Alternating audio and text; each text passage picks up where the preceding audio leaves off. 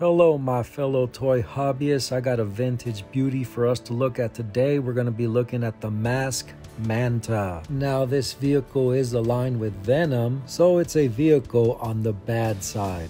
And I say this just in case you're not familiar with the Mask toy line. Now, this is one of my favorites when it comes to the Mask toy line because it was well done and well integrated when it comes to the Mask animated series. The Manta appeared in 34 episodes. Its first appearance was in episode 2 titled Star Chariot. In the comic books, the Manta made its first appearance in Mask issue 3 titled The Family Jewels. And here's the pilot of the Manta. This is Vanessa Warfield, who has no eyes. Come to think of it, did any of the mask figures have eyes? I think some had black dots. But, anyways, here she is with her mask or helmet. anyways, it's supposed to generate an electric whip. And here's the Manta, which is a Nissan 300XZ, something like that. Rolls rather nice. And this is one of the better vehicles within the Mask line as far as the play features, which which we'll look momentarily, but give you a good look at the car. A good looking car for a toy. Now let's go and look at the features. You push this button and uh, I don't know why the other wing why the other wing gets stuck. And upon pushing that button, the front is supposed to slide out and reveal the cannons. But for whatever reason, I don't know, mine tend to get stuck, but that's what it's supposed to do right there. Now, one of the features I do like is that, that the fact that the back area pops out and it reveals like the thrusters.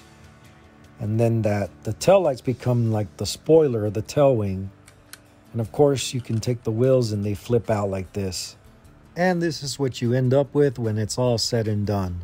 And I gotta say, this is pretty cool. I wish they would have integrated this kind of detail into the Thunderhawk, which would have made the Thunderhawk a whole lot better. Yeah, Two open doors constitutes for two wings.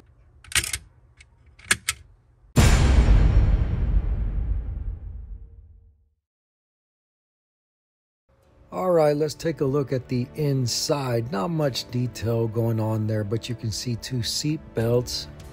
And then I'm going to show you probably the best play feature of the Manta, which actually is a good mechanism if Vanessa has a bad date. Come on, baby, just a Get little away, kiss. creep. Come on, baby. That's it, you're history. And if you're interested, this is what the ejection seat looks like. And yes, her mask is a little bit crooked, but wait, hold on. I think I got her on here backwards. Yes, I do. this is how she's supposed to go on this, or, or whatever figure.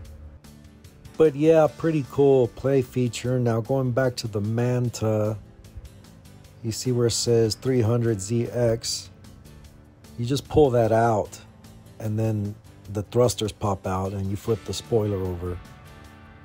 And let's look at the front. See that license plate that says Vanessa. Okay, let's do some comparisons. Here's the Manta Vanessa next to a Generation 1 Wheeljack, and they almost, almost scale rather well together. Here is the Manta and Vanessa next to this big behemoth, the Mask Volcano, the Bigfoot of the mask world. Moving right along here, I already forgot what it was called. Here's Vanessa and the Manta next to the famous Thunderhawk. Again, a fun vehicle as far as the cars go within this toy line, this this could be up there as one of the best ones.